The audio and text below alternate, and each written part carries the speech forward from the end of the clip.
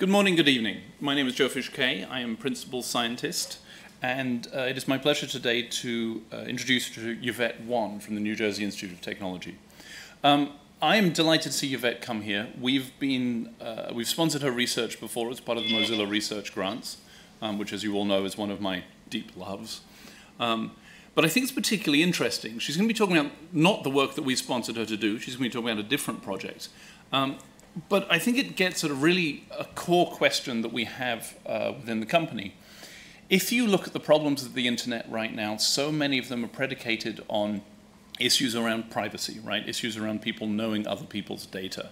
Um, uh, you look at the whole issues with Facebook, you look at the data leaks, these are all privacy issues. Well, okay, why, why, why do we have these privacy issues? Well, it's not just because people are nosy, it's not because someone like wants to know what you had for breakfast because they like to know what people had for breakfast. They want to know what you had for breakfast so they can sell you more stuff, right? The underlying problem is this advertising-driven uh, approach to how the web is funded right now. And that's why I think this work is quite so exciting, right? If we can fund, if we can look at one particular ecosystem within the web that is supported through digital patronage, that gives a very different model for what a future of the web might look like. So that's why I'm really excited to see this happen. Um, that's why I'm really excited to hear about this work, and that's why I'm so de delighted to introduce you all to Yvette Wohn. Thank you. Hi, thank you for having me, and thank you for those who are um, joining outside of the Mozilla HQ. Um, like Jofish said, my name is Yvette, and I'm a professor at New Jersey Institute of Technology and also director of the Social Interaction Lab. And our research has been um, funded in part by Mozilla as well as the National Science Foundation. And today I'll be talking about digital patronage. Um, this is New Jersey Institute of Technology. We're located in Newark, New Jersey, which is very famous for its airport and also very close to New York. These are some of the students in my lab. I really love working with these students. Um, several of students have also worked on the research I'm going to present today. So my research in a nutshell is in the field of human-computer interaction, and I try to understand how people use different social systems. And those social systems can range from social media, Facebook, Twitter, to online games, uh, live streaming, uh, which is what I'm going to be mainly talking about today. And so I also uh, look at the effect of using these social systems, and so it's kind of a communication plus psychology plus computing field. One of my favorite lenses in which I look at research is social provision. And this is a term that describes the exchange between people that happens with a system in between. And social provision can be anything. You can exchange emotions, you can exchange information, but you could also exchange money, and all of those are linked together. So what is, what is patronage? Well, according to the dictionary, patronage is the action of a patron supporting, encouraging a person, institution, work, or art.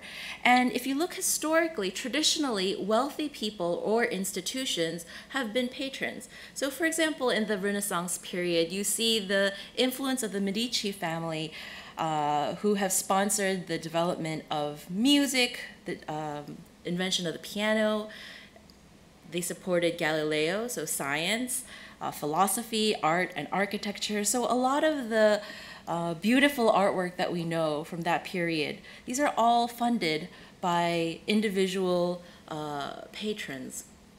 So here we have the Mona Lisa. On the left we have Beethoven, and on the right we have Christopher Columbus, whose expeditions were primarily funded uh, by Spain. But it's not necessarily an old thing. Even today, when we look at art, for example, we see major individuals uh, who are patrons. For example, um, this is a Broad, one of the many Broad, Broad uh, museums uh, funded by Eli Broad. And then we also have the Getty Museum, which houses a huge collection, uh, art collection by Getty. So in some sense, patronage is old, it's new, uh, it's been around for a very long time. So what is digital patronage? Well, digital patronage, as I define it, is people directly supporting content creators who are their own media entities. And this is happening through these new online financial systems. So we have uh, systems such as Twitch or Patreon that allow people to post content and allow patrons to give money to them through the system. And then there are also some direct financial systems such as Venmo or PayPal where people can directly uh, transfer money to somebody else. So, what are the main characteristics of digital patronage? Well, I think the most important thing is that it's recurring support. It's not that you're giving money one time to someone, it's that you're doing so on a monthly or a weekly uh, or a yearly basis. And the second thing is that this enables the formation of communities around the creator. And so instead of being project based, which is the essence of a lot of kind of crowdfunding that we've saw, seen, such as Kickstarter or Indiegogo, where people come together to pitch money to a project. This is more about pitching money in to support a person. Um, this is a content creator. His name is Ninja. He's a professional video game player and he broadcasts his video game play online. Um, he used to be one of the largest uh, streamers, live streamers on Twitch. Um, although he recently moved to another live streaming service called Mixer. Ninja, just based on subscriptions of people who were paying money for content that he was providing for free, just based on that, he was making at least a million dollars a month. And these are somewhat old statistics from last year. And the interesting thing here is that his content is completely for free, so nobody has to pay, but people choose to pay. And the interesting thing is that it's not necessarily platform dependent. So Ninja recently moved to Mixer, like I mentioned before, and his patrons followed him there. So that was a very interesting phenomenon. Um, and he is a very uh, good example of a hugely successful case. Now, of course, not all people who create content and broadcast online are as successful as Ninja. Um, but there are also examples of small content creators who are also uh, making some money through digital patronage. This is Howard Rheingold. He's a, uh, a writer, a, an artist, and uh, he's retired but he has this page on Patreon where people subscribe to him for as little as $1 a month.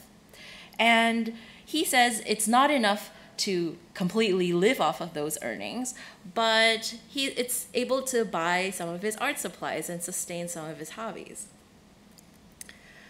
The really interesting thing about live streaming, which is going to be the medium that I'm focusing on today, is that it affords a lot of interaction between the content creator and the viewers. So here's a, a screenshot from uh, Twitch. And this woman is broadcasting, and on the right side, you see that people are uh, posting live comments as the broadcast is happening. And because of this interaction, it creates a lot of intimate um, interactions between the content creator and the supporters. Um, we see a lot of really unique content happening on live streaming. These are just a couple of, of examples from Twitch where you see people in cosplay cooking or making music or drawing. And these people, probably not all of them are able to make a living off of the patronage, but it is providing a supplemental sort of income. And this is very different from more traditional models where you have to be a very successful person with a lot of viewers to make money. So, of course, there are examples of this. This is um, a streamer who um, plays online games, and she has received some sponsorship from Logitech and Acer um, tech companies, and that is displayed on her screen. So she's being paid to put those ads up on her stream. But these kind of sponsorships or advertisements can only really work when you have a huge viewership, which is for the majority of content creators not the case.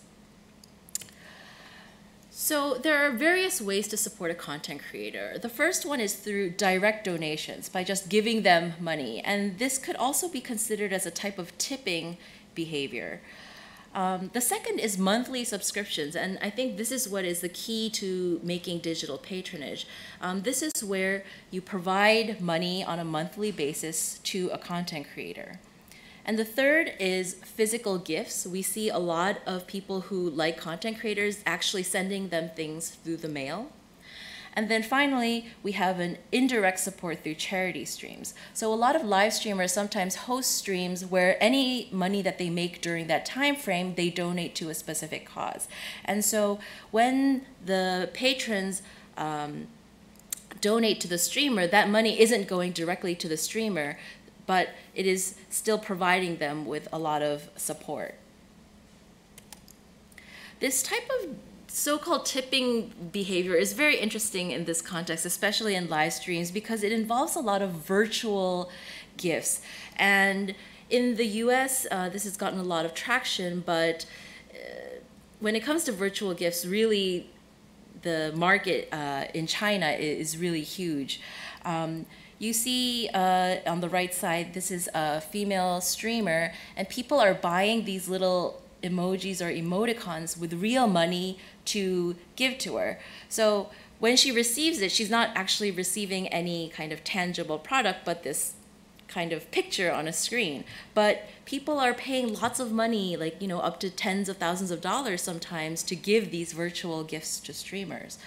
Um, Twitch uh, introduced this system called cheering, um, with their own kind of monetary system back in June 2016, where you can purchase bits with real money and then give these little emoticons to the streamers. So that creates like very interesting interactions between people. Um, here's a screenshot from a streamer, one of my favorite streamers, Angry Pug.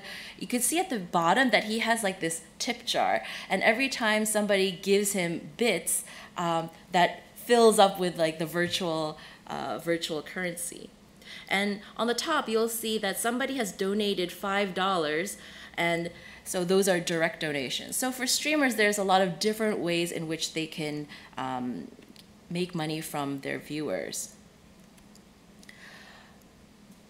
In terms of subscriptions, um, there are different tiers, and different systems have different ways of doing this. So, for example, um, on Twitch, uh, which is owned by Amazon, you only have four options. If you're an Amazon Prime member, you can subscribe to someone for free, or you can pay roughly five, ten, or twenty-five dollars a month. And these can come with different perks. And the content creator is the person who who adjusts what those perks will be. On sites like Patreon, they have adjustable tiers. So the content creator uh, decides uh, what kind of perks will come with the different tiers. And those perks can be anything from access to different content, access to the person's social media. So, for example, a lot of people have private Snapchat accounts which you cannot access until unless you are a certain subscriber. Uh, special emojis or uh, subscription badges. So I know this seems very abstract, so let me give you a few examples. Um, this group of content creators, they're called the Try Guys. They became kind of famous through BuzzFeed.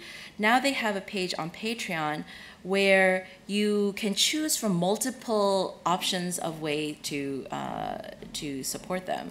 Um, there are many tiers. I've just put three on here as an example. For example, for only $3 a month, you get 24 hour early access to their videos. But if you wanted to increase that to $5, you get access to their uh, chat server. And for 500 or more per month, they give you a personal shout out in their podcast. Um, so this is a, a unique way of, of content creators deciding what is the more added value. On Twitch, um, some of these perks are appear on on the screen for other viewers to see. So for example, um, this is again the streamer Angry Pug, and on the right side are people who are writing things in chat, and you see that some people have this icon next to their name that looks like a pug, but they're all different colors. And the colors are based on how long that person has been a subscriber. So if you look at the chat, you know how long somebody has been there. And that kind of mechanism of visually identifying someone's patronage also contributes to the dynamics of the community, uh, how people interact with each other, as well as how the streamer choose to interact with the viewers. On this slide, these are some of the unique emoticons that you can get by actually subscribing to Angry Pug. So if you pay $5 a, a month, um, you can get these special emoticons.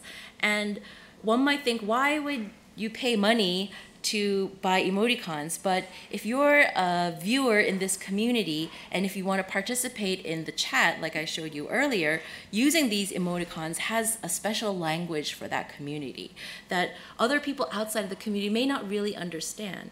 Um, so some of these are pretty straightforward. You know, they're like a cute dog or or a screenshot of his face. But some of the things, for example, in the middle, like JFM, uh, someone outside this community would have no idea what that means. But by posting this emoticon, there's like this insider language that is happening that helps bond the community together.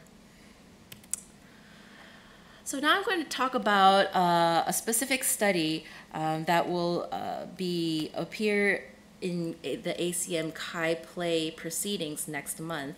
And this is a study about why people subscribe to live streamers on Twitch. And this was based off of more than 300 hours of structured observation, as well as a paper survey that we did at TwitchCon, which is a convention for Twitch enthusiasts.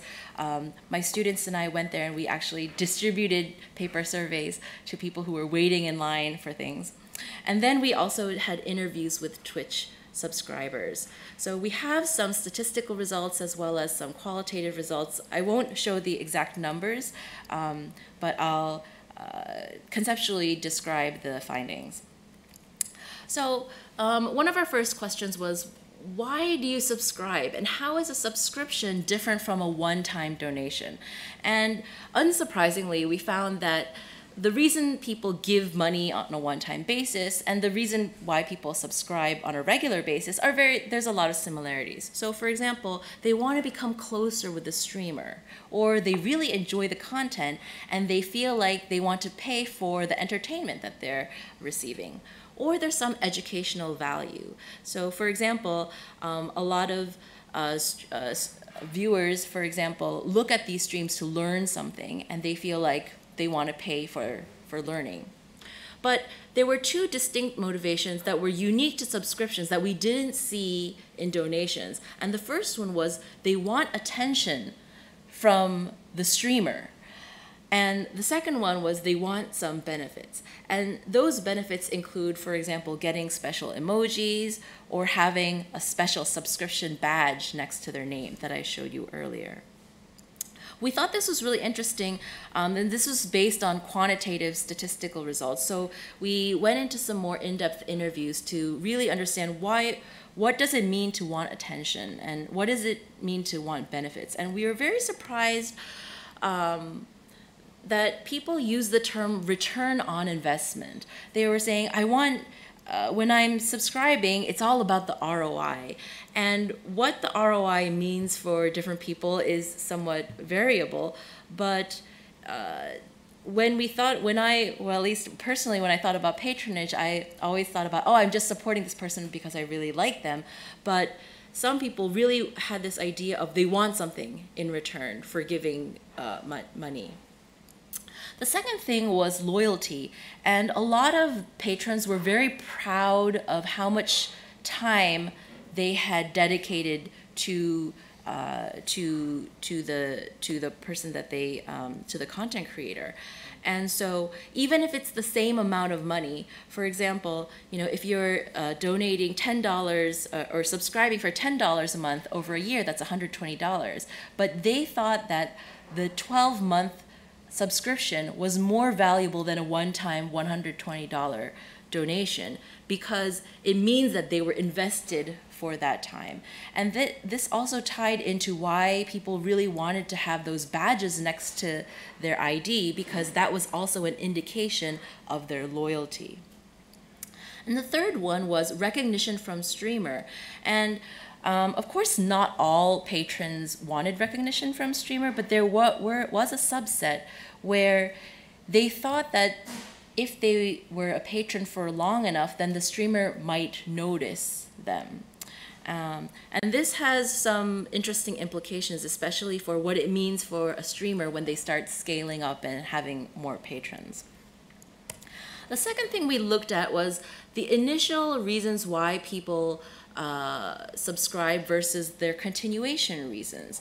And one of the things um, that was really interesting about the continuation reasons was this perceived relationship, which was often parasocial in nature. Uh, parasocial is an academic term that's used to describe when someone feels very a strong connection to someone that they don't really know. So traditionally, this has been used in a lot of research of like attachment to fictional characters or television dramas, things like that. But we see that again in this live streaming space. And then we also see patrons uh, wanting to continue because they think that they're having a financial impact on the streamer. And they feel very proud that they're really helping out the streamer financially. And so one of the interesting things here is that as a streamer gets larger, one would think that, oh, once a streamer's big enough, they don't need the money anymore. And that was true for some people. But for others, they even if the streamer was extremely popular making a lot of money they thought that their contribution was what kind of made that person who they were um, the next thing i want to show is kind of the relationship between why people subscribe and other supportive behaviors and this shows a lot about kind of how the different subscription reasons map onto different supportive behaviors so on the left side we have financial support, personal connection, and these are the reasons why people subscribe. And on the right side, we have buying merchandise, giving gifts, giving direct money, uh, buying bits, and gifting subscriptions to other viewers. So this was a statistical analysis, and it's hard to show numbers through a PowerPoint, so I uh, made this kind of uh, diagram. Uh, when we look at financial support, we find that people who support uh, or who are patrons because they want to provide financial support, they are also engaged with a lot of other supportive behaviors such as giving money, buying merchandise, etc. But we saw that people who are more likely to provide uh, patronage because of financial support were less likely to give subscriptions to other other viewers. Next, we have personal connection. Um, these are people who our patrons because they want to feel this connection with the streamer. And we found that the only thing that that was related to was buying merchandise. And again, we see this negative relationship between a personal connection and gifting subscriptions to other viewers. Third, um, these are people who are being patrons because they really enjoy the content. And we see that these people, similar to the financial support, they also buy a lot of merchandise, they give money, they give bits, and again, they are less likely to give subscriptions to other people. So it seems it's really about their experience and not wanting to help out other others. Um, next, we have educational value, which is related to purchasing merchandise and giving gifts, but none of the other things. And then finally, we this is I thought this was very interesting. People who are patrons because they want attention, they don't engage in any of the other supportive behaviors. And then people who want benefits um, are more likely to give bits and give gifts. And we think that this is because if you give bits in the system, the Twitch system also tracks how many bits you've given, and you can also get a badge based on that. So maybe it's the visibility of their patronage that also contributes this. So um, finally, what does digital patronage enable? First, niche content. You could uh, maybe be someone who's doing something very, very specific, like dressing up in 50s wardrobe and cooking old recipes. um, that may not appeal to a large enough people, uh, a large enough audience to make money off of advertisements, but could be enough to have a very small audience. Um, we think this is really interesting and also uh, could be potentially scalable because we do see very positive examples. And at the very top, for example, um, these are two of the top uh, content creators on Patreon, and you see that one is a podcast producer, and the other one is Brandon Stanton, who who creates the Humans of New York series, and um, they're making quite a lot of money per month to be able to sustain their jobs. Now, of course, this is kind of on the top end of things. We also have on the bottom line. Um, the people who are content creators who maybe the income from the patronage. Maybe it pays the bills. Or maybe it's the bottom line that could that gives them the freedom to not have to be like hustling all the time. So for example um, this is Laurie Penny. She's a journalist. And um, recently she hit 3000 dollars per month in terms of the patronage support that she's receiving. And she wrote this post about how this enables her to have a lot of more freedom and that she doesn't have to juggle two or three jobs because at least this is kind of like a baseline, uh, provides a baseline type of salary for her. And I think this is really interesting, has interesting implications for freelancers because freelancers don't have any baseline and this, even if it's not a lot, through digital patronage, perhaps that baseline could be there. And I think this is also um, interesting because it could lead to more content that goes against the market forces. When you think about what kind of content gets a lot of traffic online, um, not all of that content is necessarily quality content. And that's why we see things like yellow journalism. Um, that's why uh, news about celebrities gets more clicks than politics or social issues. But this digital patronage could enable the support of content that may not be viable with advertising money. And I think that's really exciting. I think digital patronage allows us to revisit the long tail.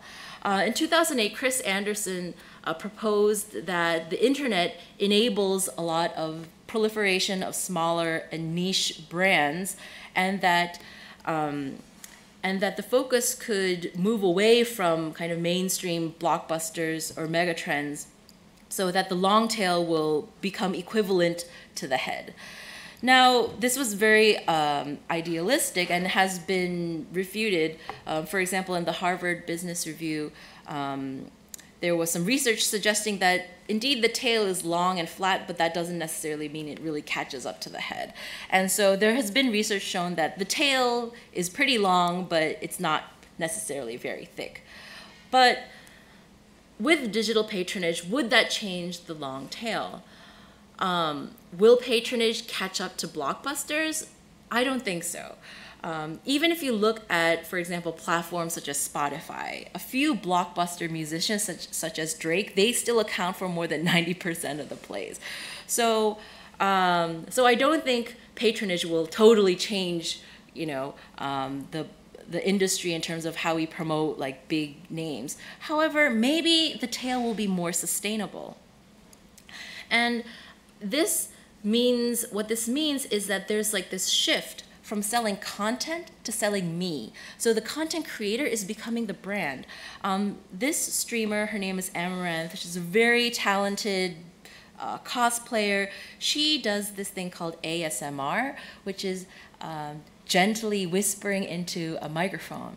And actually there are many many many people who do this. So when you think of the content itself it's not that the content that she produces is necessarily superior to others but she has a very unique brand and way of interacting with people that make people want to follow and also want to make people give money to her even when they can access her content for free.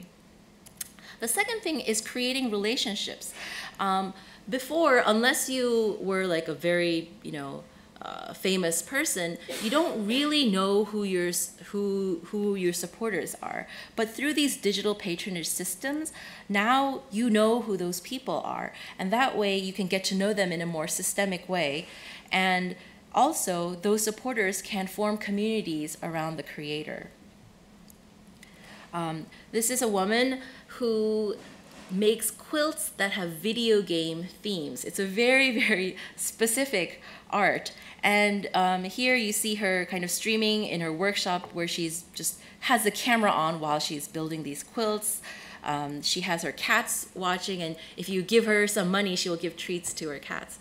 Um, I think this is really interesting because she does not make money. Uh, her her main profits are not from the digital patronage, but this is a way for her to connect with people who will potentially buy her quilts. And so she has built this community that may not be generating the money, but leads to other derivative um, products. So finally, some of the final thought nuggets that I have on patronage, at least as it, uh, as I see it on Twitch, is that it's a mix of the emotional and the tangible. There's money, but it's not just you know, uh, thoughtless money. People are very attached, and there's a sense of the money that I'm giving is attached to loyalty, it's attached to relationships. And so, this kind of tangle of the financial and emotional, I think, from a research perspective, is very interesting. And the second point is that the reasons why people are patrons are so different. Some people, they don't care about what they receive in return. They just want to support that person because they just love what that person's doing. But other people are very keen on what they're getting in return. And I think that from the perspective of the content creators, it's also really important to know that there are these different motivations of the patrons. And then third, virtual representations mean something. I was very surprised at how much value people were adding to these little emoticons or the these pictures that are that are showing the badges next to their names.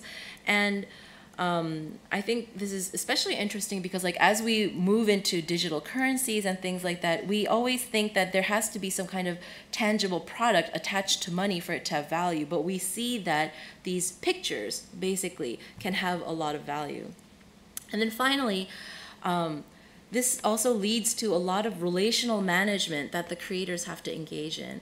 And um, the scholar Nancy Baym also talks about relational management in her recent book that is about musicians. Um, but we see that not just with musicians, but content creators in general, when you have this direct connection with your patrons, you feel obligated to have to interact with them, and that creates a lot of interesting and often uh, emotionally draining dynamics. So finally, what's next? Uh, investigating other patronage platforms such as Patreon. Um, also understanding uh, patronage and brand management practices from the creator's perspective. So today I was mainly talking about the supporters, but what does it look like from the other side? And then finally, developing and exploring new systems that support different patronage activities. So as a as a patron, currently there aren't a lot of systems that give you metrics on your own patronage history or the different people that you are supporting. And it's also the same on the creator end because we've talked to creators too. And it just seems that everything is digitally uh, everything exists digitally, but the metrics are not quite there yet. And then, of course, like understanding how growth of patronage occurs. If you're a very, very small creator and you start gaining more and more patrons, what does that patron management look like? And what is the bigger impact that it has on the creative industry? I think this is a really exciting new area, and I'm looking forward to seeing where digital patronage goes from here. Thank you very much.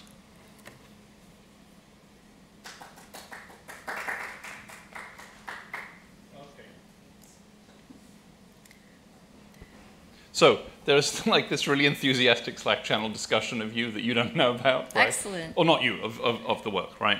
Um, my first question on here, so first off, thank you very much. Um, and the general consensus is like raucous enthusiasm, just poorly communicated through, um, through the internet. Um, first question is from Janice Tsai, who's up in Seattle. Um, and you alluded to this, I think, in your penultimate slide. Um, in Yvette's research, did anyone talk about the burnout or the mental slash physical demand of creating content 24-7? Yes, and this is something that is discussed among creators all the time. If you go to conventions for creators, they have panels on which they try to educate each other on how to manage burnout. Um, I think that there's uh, there's a lot of advice, especially given to new creators, about don't think that this is you have to be on 24 7. And there's a lot of concern about mental health and a lot of dialogue around that. And so um, I think there is a huge awareness in the creator community that you have to, if you're spending a lot of time on air, you have to spend a lot of time off air. And so I think there's a uh, there's a lot of acknowledgement and um, kind of discussion around that, which I think is very healthy. Um, second question I have here is from Diane Tate, who may be in the San Francisco office. Um, I'm not sure. Um, no, now I've got a picture of me. That's fine. Um, and Diane asks, what lessons from supporting individual influencer personality types can we carry over to the digital patronage of products and services? Does that make sense? I think it's asking a question from a very particular Mozilla point of view, so if it doesn't make sense, I can elaborate a little. Um, could you elaborate a little? Sure. As mentioned in the introduction, we're trying to figure out alternate ways to fund the internet. Mm. And obviously, you can think about maybe uh, what if Mozilla was to do some sort of service that people would subscribe to in a similar kind of way? Mm -hmm, so there's some of the stuff that's out there right now, like our work around um, making, telling you whether your passport was stolen, password was stolen in a password breach, right? Mm. Um, or uh, um, we are experimenting with other sort of privacy and safety and security kind of services. Um, the, are there particular personality types that, that are, I think Diane is just sort of trying to ask, if we start to think about the personality of Mozilla, are there directions we should lean into, right? Right, right. I think the important thing that I, at least and this is just my opinion, is that digital patronage will not work for everything. And what I think that it does work with is when you have a strong individual who has a personality that is their own media entity yeah. so that people feel like they have a direct connection.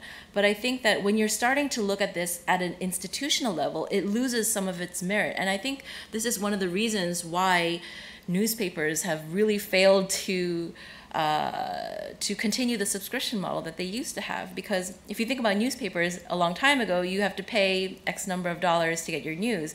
Now, most people don't do that, and they've and so they've switched to an advertising model, which has its own own problems. But you see, people are supporting individual journalists and writers, and so I think that patronage is something that requires a very central character mm. and that if you try to do this at like an organizational level it loses that sense of intimacy.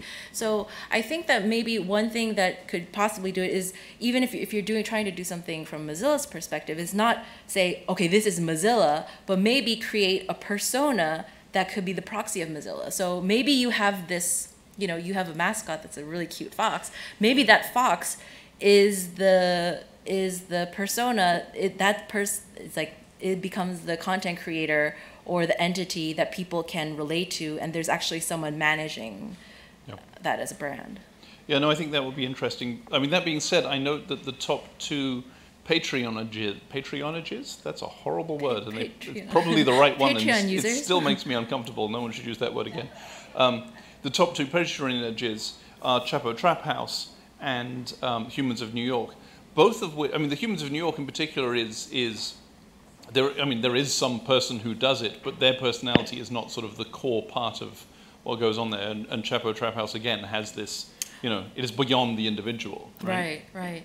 I mean, I think those are, um, I think it's, first of all, there's people that are successful and on the top end of content creators. And yep. then there are people who are kind of starting out. And I think that at the top level, you will always see people who were who are uh, hugely successful not because they are on Patreon, but because they were successful yeah. before and they basically brought their supporters to Patreon. So I think that's a different example. But when we look at people who start out on Patreon, I think it's it, it's different. Mm-hmm. And so when when we see kind of this. Uh, when we see the distribution, like the majority of people are not there because they were already famous. Yep, that's a good point. Um, I have a few more questions on the Slack channel. Do we have any questions in person? David. Oh, thanks. Um, did you, in your survey or in, in any of the observation, notice people stopping their subscription or deciding that they didn't want to donate anymore or didn't want to follow? Because I know that part of the mental health problems for creators is the fear that they'll leave and go to something new. Is that is that at all part of your analysis? Yes. So there are, definitely are people who stop. Um, I think the top three reasons were um, one, the person switched completely switched their content and the reason they, they were a patron was because of the content and so when the content changed they were no longer interested in that um, the second reason was looking at um, uh, and i kind of gave this example earlier too but there were some people who they were not very affluent themselves, but they really wanted to support someone because they were so poor. But then when that person became financially successful, since the patron was still not in an affluent position, they felt like they didn't have to support them anymore. Um, so that has a kind of dual implications because there were also people who wanted to continue to support even though the person they thought was at a good financial state. Um, and I think the uh, final one uh, was related to people who were patrons because they wanted this personal connection with the streamer. And after a time, they felt like they weren't achieving that. And I think that's really hard from the creator's perspective because everyone is expecting to or wanting to be your friend, and that's really hard to do from a creator's perspective. Mm -hmm. Would you say, follow up quickly, would you say that then these need to seem like grassroots efforts to get support, and then at a, at a point in which they seem like successful going concerns, mm-hmm. people might find the next grassroots thing. So that the personality that's important is sort of like a scrappy upstart.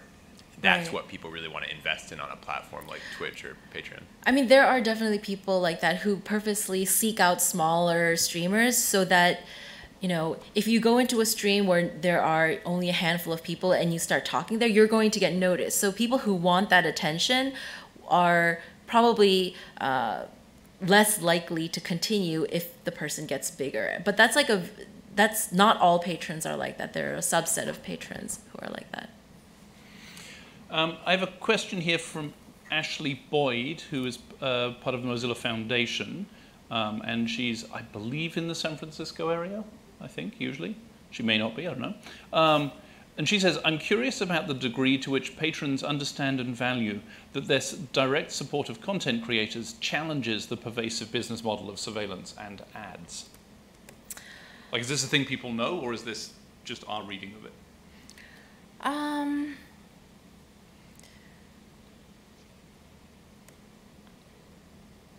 could you read the last part of the question, yeah. please?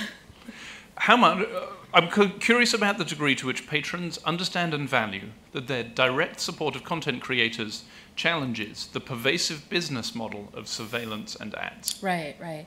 I don't think they're necessarily thinking about surveillance, but in terms of ads, I, there is definitely this sense of pride that they're partaking in an alternative hmm. means of supporting creators. And what I mentioned earlier about loyalty, um, the way that people think that their time is more valuable than money, I think is a very good indicator of that. So um, I would say the majority of patrons probably know that you know without them the the content creator may otherwise not have a good means of making money and so i think they're very aware of that um, good. Uh, do we have any questions in person? Portland, how's it going, dudes? Um, Portland's waving. Portland's thumbs up. Good. Um, San Francisco, Vancouver, Toronto. Vancouver, I can vaguely see you there, clustered at one end of the table. Waving. They're nice and waving. Okay. Um, I mean, I guess one thing I would like to add yes. to kind of follow up to the previous point is that there are people who who do think about kind of the impact that they're making but then there are also a lot of people especially younger people that they're just paying five dollars to get the emoticons. And there's not much about like oh like the creator like they just want that emoticon. And that's what i find like very fascinating about like how much power just having that emoticon has. And i think it's really interesting to look more into that. Cool. Um, next question uh, from Jared Hirsch, and I forget where Jared is. Um, but he asks Are there examples of brands sponsoring creators on a single track daily or weekly schedule, like a conference or a TV or a radio channel? on the live stream Yeah. Um, there are there are uh, so there are some efforts that are made by content creators individually, like those who are at least savvy enough to to get different sponsorships. Um, Twitch also facilitates some of that. So, for example, uh, if you're a game player uh, and you are not big enough to have a sponsor, but Twitch, for example, if there's a new game coming out, they will say if you play this game for X number of hours uh, to your audience, then you will get some kind of amount of money. So in that case, that's kind of like kind of like product placement to a certain extent and twitch helps facilitate that to some extent for the content creators who are not big enough to secure those product pla- placements on their own um, I also know that there's a lot of product placement in in regards to equipment, streaming equipment. So like gaming chairs. Um, you see uh, a lot of energy drinks are sponsoring larger streamers so that they have like the energy drink refrigerator in the background. Um, so small things like product placement, but I think those are uh, for smaller creators like very difficult to procure. Yeah. I noticed that in your screenshot of Ninja announcing his switching and he's wearing this huge Adidas logo, you know some someone at Adidas was just like, all right, high five, I've just made my bonus for the year, right? Like, that moment. He has like when you get to the liv- level of ninja it's no longer a content creator. It's basic he's basically a celebrity. He has a whole huge team managing different parts of it so. Um, I've got three more questions that have come in. Um, first one from Ansel Hook. I wonder if content creators get together to form syndicates or groups where patronage gives you access to all of the creators in that group. oh that's really interesting i think the system currently doesn't support that but there are definitely um, in ad hoc ways co- uh, content creators get together to form groups and they direct their supporters to other people in that group. So for example uh, and we see this a lot in not in so much in gaming circles but in people who do kind of more artsy things because uh, especially for people who do art they feel like the other person is not a threat because artwork is just not really uh, competable i guess like uh, competing. Um, they uh, not everybody is streaming 24 7 so when they're done with their stream they will direct their viewers and say hey here's this other content creator who who may who is similar to me that you guys might want to check out. And that way they also share their patrons as well. Um, Gloria Kim asks, you mentioned that this model of exchange rewards the individual brand or personality. Were there are characteristics common among the top performers? And how did that compare to the performers who found niche audiences and perhaps a more modest degree of success? That's a good. I think there's a very big distinction between. Um, there are content creators who are famous because of their content, and the content is so excellent. And then there are content creators who are just who people like them because of their personality. Um, and there is a bit of a distinction. And I think Ninja is a very unique case where he has a personality and he also is able to, you know, snipe people who are flying out of the air.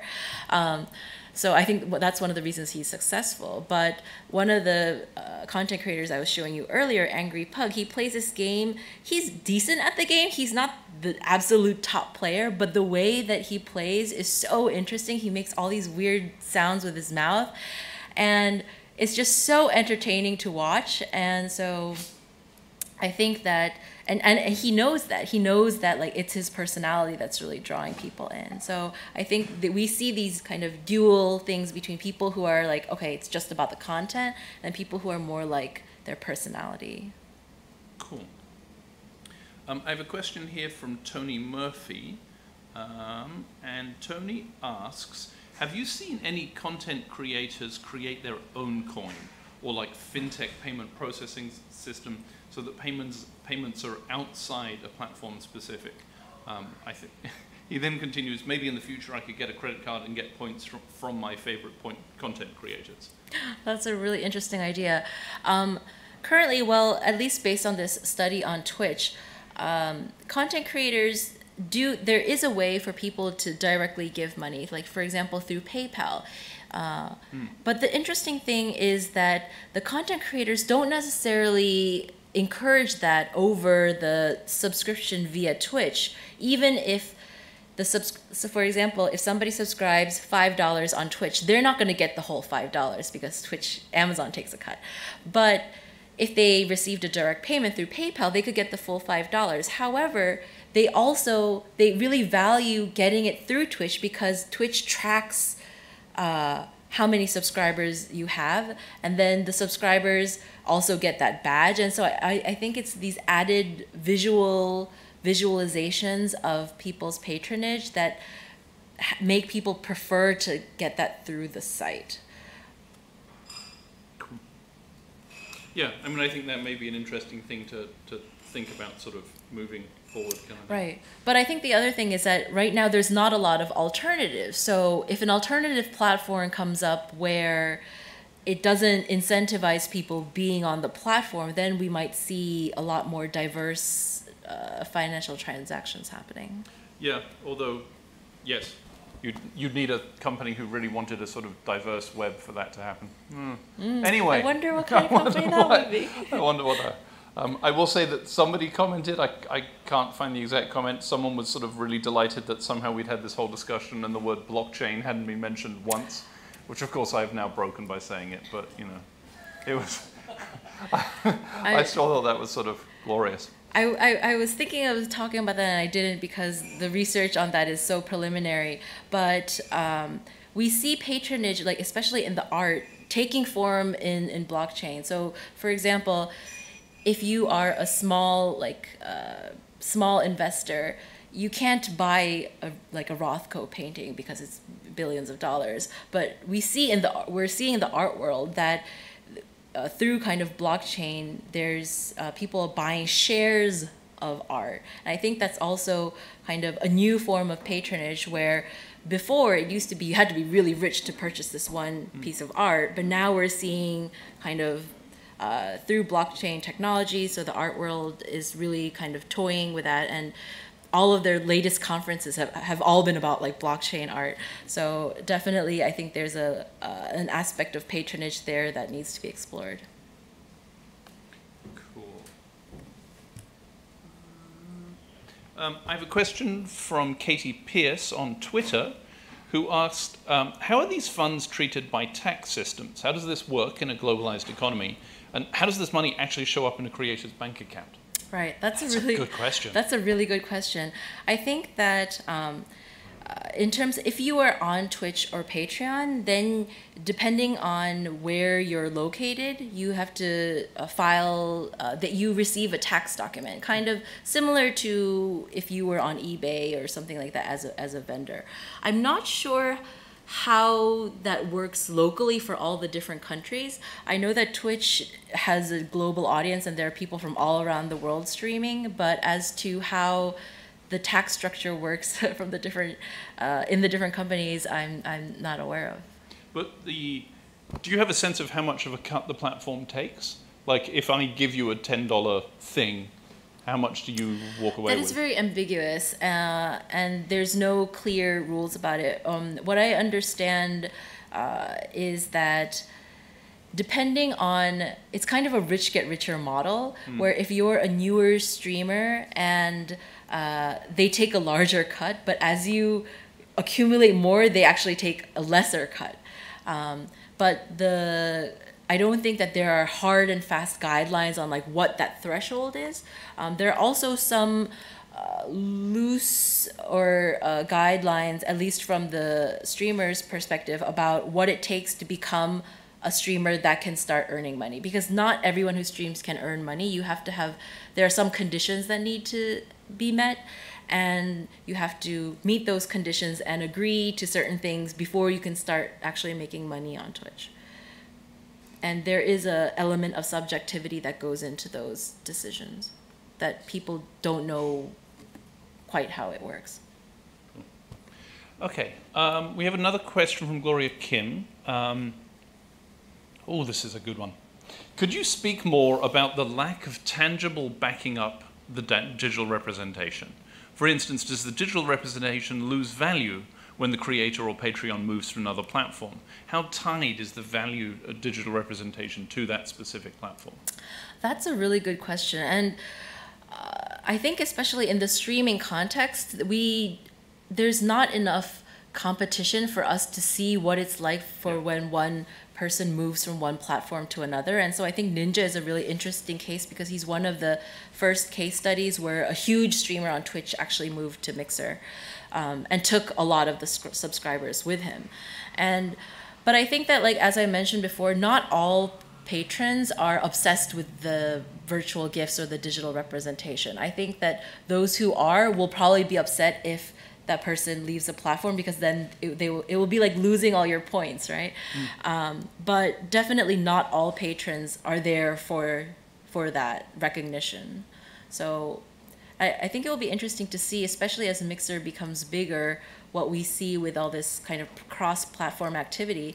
And it could be that uh, streamers realize that um, when you have when you're managing all this multiple media, and right now there's not for example you don't really make money through twitter by being a power twitter user or you don't make money through uh, through instagram unless you aside from the ads but mm-hmm. once those systems if they start implementing this patronage system i think it will be really fascinating to see how creators manage that and if there will then be services that try to link all of those things together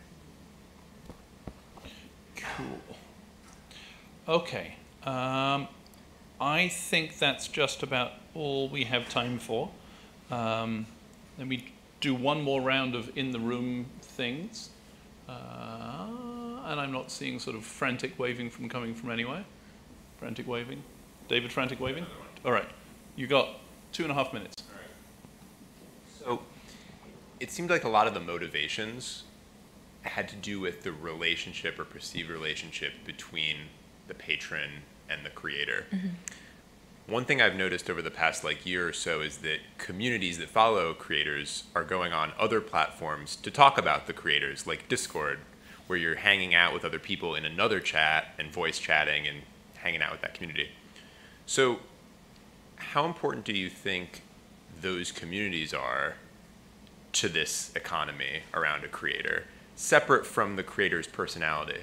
Right. Once you're in it, you're really in it you get those emoticons for the other people there, not right. so much to show your relationship to that creator. Right, right. So if you could talk a little bit about that. Yeah, um, the community aspect is what I think is what makes kind of digital patronage different from the one-off donations because it's not just me and the creator; it's me, other patrons, and the creator, and then kind of in the middle. Um, someone that I haven't talked about is moderators. So as these communities get bigger, uh, creators have a hard time managing the volume of kind of conversations on their own, and so they need people to help out with that.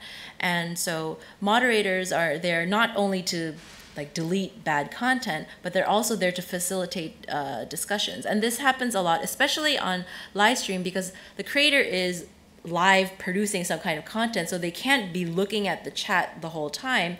And sometimes when people post something and the streamer is unable to respond, sometimes people get very upset. It's like, I just said something, why won't you respond to that? And a lot of times that's when moderators can also jump in and, and start facilitating the conversations. So there's this. Um, kind of thing where as a streamer builds a, a, larger and larger following they also need to recruit human moderators to help sustain that community. And so i mean that's like a whole other talk but you know the dynamics with moderators is really fascinating as well and how they recruit them and how they manage them. And Um, so there's a lot of this kind of people management that happens, not just from the creator patron perspective, but also like all the in between people as well. Cool. All right, and with that, I would like to thank you very much for Thank coming from all of. Mozilla. So we are delighted to have you here, and that was a super talk. Thank you very much. Thank you.